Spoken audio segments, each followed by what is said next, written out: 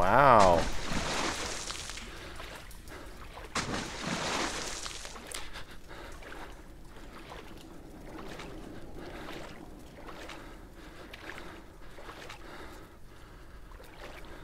It's funny how it's like it's considered found footage.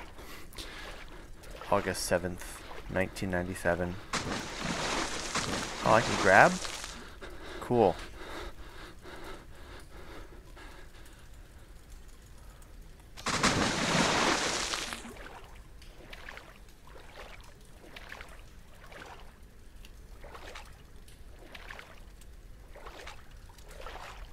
Everyone goes away in the end. I don't know what that was, but okay.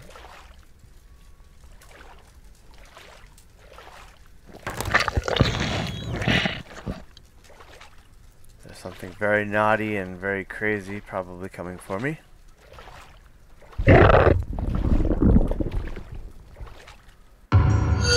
Bad ending.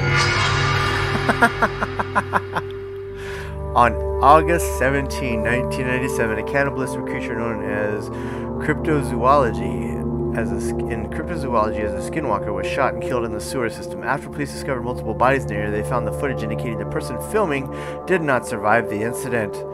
The tunnels have been closed and sealed. The knowledge of the event has been kept out of the public view due to its disturbing nature. Ending 2 of 2. Apparently that's all I'm good for is the bad ending.